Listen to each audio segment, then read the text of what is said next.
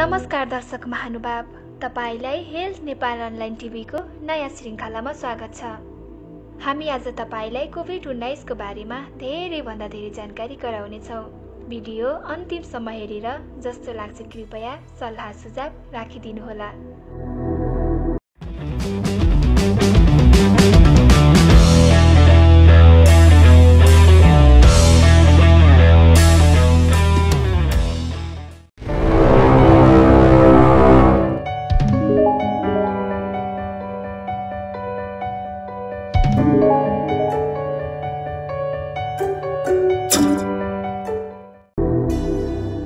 Covid उन्नाइस भनेको के हो र यसको कसरी घरैमा उपचार गर्ने र यसको निवारणमा तपाईँ हाम्रो दायित्व कसरी वहन गर्ने सम्बन्धमा आज हजुरहरूलाई थोरै जानकारी प्रस्तुत गर्दैछौँ। कोभिड उन्नाइसले विभिन्न मानिसहरूलाई विभिन्न तरिकाले असर गर्छ। धेरै जसो सङ्क्रमित व्यक्तिहरूलाई सामान्यदेखि मध्यम खालको लक्षणहरू मात्र देखा पर्छन् जसलाई अस्पतालमा भर्ना गर्न पर्दैन र घरैमा निको पार्न सकिन्छ। समाजमा त्यस्तै सामान्य लक्षण मात्र देखा परेका व्यक्तिहरूले नै सामान्य रुगाखोकी हो भनेर सङ्क्रमणलाई उच्च दरमा फैलाउने गरेको पाइन्छ। कोभिड उन्नाइस सङ्क्रमितलाई देखिने धेरै जसो सामान्य लक्षणहरू। ज्वरो सामान्यदेखि अत्याधिक एक सय डिग्री फरेनाइटदेखि एक सय तिन डिग्री फरेनाइटसम्म ज्वरो आउने गर्छ। सुक्खा खोकी लाग्छ। थकान महसुस हुन्छ। कोभिड उन्नाइस सङ्क्रमितलाई देखिने सामान्य लक्षणहरू। शरीरको वा मांसपेशीको दुखाइ हुन्छ। घाँटी दुख्ने हुन्छ। पखला लाग्ने हुन्छ। आँखा रातो हुने र पोल्ने हुन्छ। टाउको दुख्ने हुन्छ। स्वाद वा गन्ध थाहा नपाउने हुन्छ। छालामा असामान्य दाग देखिने हुन्छ। छालाको रङ परिवर्तन हुन्छ। कोभिड उन्नाइस सङ्क्रमितलाई देखिने गम्भीर किसिमका लक्षणहरू। सास फेर्न गाह्रो हुने र छिटो छिटो सास फेर्ने हुन्छ।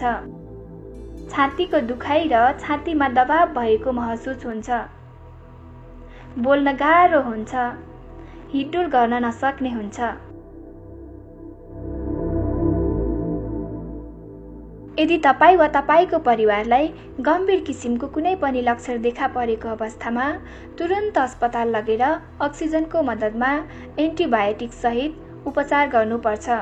त्यसैले कोभिड उन्नाइसको सङ्क्रमण भएको थाहा पाउने बित्तिकै डाक्टरको कन्ट्याक्टमा वा स्वास्थ्य कर्मीको सल्लाहमा बसेर उपचारको बारेमा बुझ्दै राख्नुपर्छ। सामान्यदेखि मध्यम खालको लक्षण सहितको बिरामीलाई स्वास्थ्य संस्थामा भर्ना नगरिकन स्वास्थ्य कर्मीको सल्लाहमा विभिन्न औषधिको मद्दतले सजिलै निको पार्न सकिन्छ। सामान्यतया भाइरस शरीरमा प्रवेश गरेको पाँचदेखि सात दिनभित्रमा आफ्नो लक्षणहरू देखाउन सुरु गर्छ र बडीमा चौध दिनसम्म देखिन सक्छ। कोभिड उन्नाइसबाट बच्ने उपायहरू।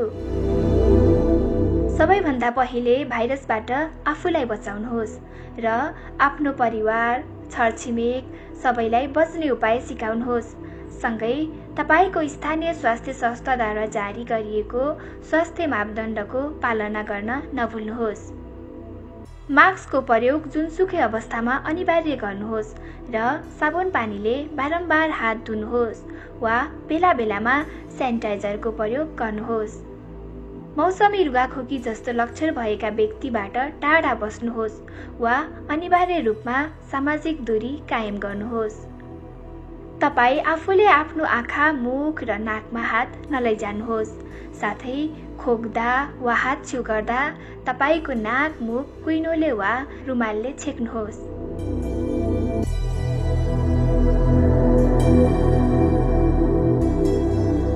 यदि तपाईँलाई फ्यू जस्तो कुनै लक्षण देखिएको छ वा अस्वस्थ महसुस गरिरहनु भएको छ भने घरैमा बस्नुहोस्। सार्वजनिक सवारी साधनको प्रयोग नगर्नुहोस्। कुनै पनि सवारी साधनलाई अरू कसैसँग साझेदारी नगर्नुहोस्। स्वास्थ्य संस्था जाँदा वा आउँदा एम्बुलेन्सको व्यवस्था मिलाउनुहोस्। यदि तपाईँलाई कोभिड उन्नाइस सम्बन्धी कुनै पनि लक्षण देखिएको छ भने छिटोभन्दा छिटो स्वास्थ्य संस्था गएर कोभिडको जाँच गराउनुहोस्। आफू कोभिड उन्नाइसबाट सङ्क्रमित भएमा आफ्नो स्थानीय सरोकारवाला निकायलाई जानकारी गराउनुहोस् ताकि गम्भीर समस्या देखा परेको अवस्थामा तुरुन्तै स्वास्थ्य सेवा उपलब्ध गराउनका लागि अग्रिम व्यवस्था मिलाउन समय मिलोस्।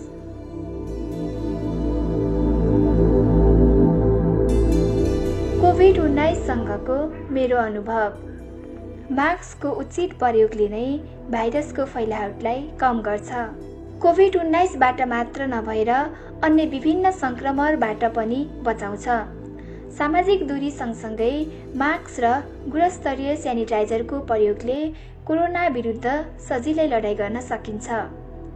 उदाहरणकै लागि म एक स्वास्थ्य सम्बन्धी सेवा दिने स्वास्थ्य कर्मी हुँ।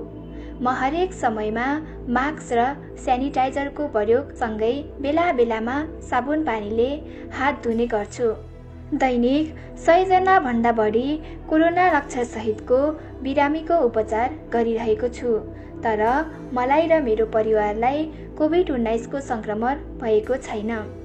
यसको मतलब उचित तरिकाले सामान्य सावधानी अप्नाएको अवस्थामा पनि कोभिड उन्नाइसबाट बच्न सकिन्छ।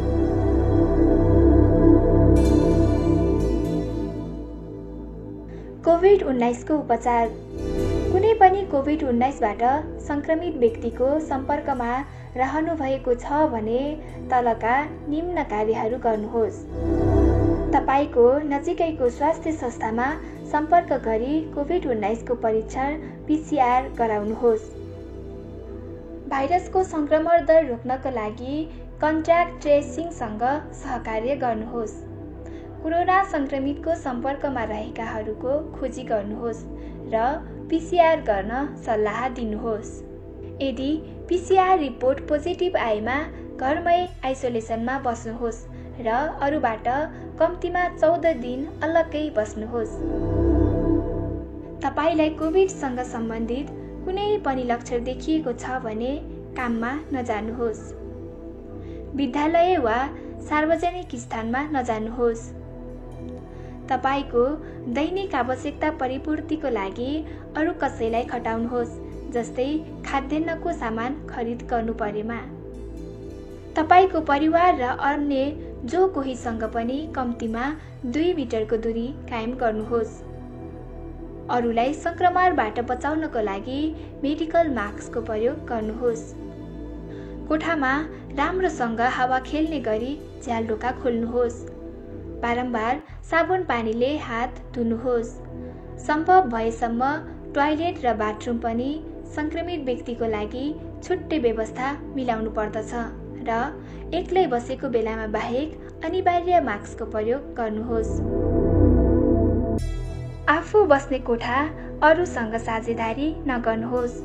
फोन वा अनलाइनबाट स्वास्थ्य सम्बन्धी जानकारी जति सक्दो धेरै लिनुहोस्।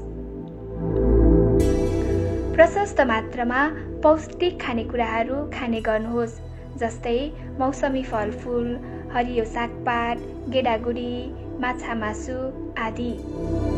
फ्रिजमा राखेका चिसो खानेकुराहरू कम प्रयोग गर्नुहोस्।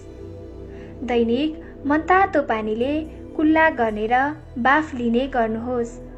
भिटामिन सी युक्त खानेकुराहरू दैनिक खानुहोस् जस्तै अमला कागती आदि। चिकित्सा उपचार।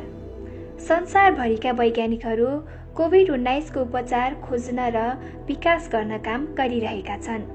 विश्व स्वास्थ्य सङ्गठनले आफू खुसी कुनै पनि औषधि सेवन गर्न सिफारिस गरेको छैन।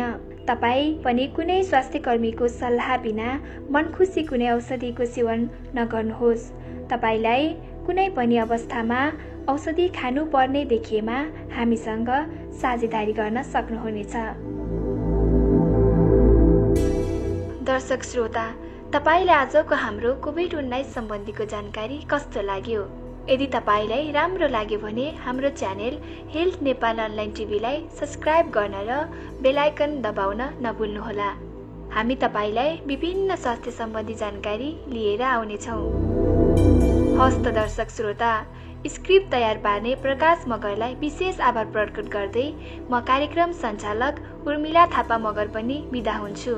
अर्को नयाँ श्रृङ्खलामा हाम्रो भेट हुने नै छ। नमस्कार।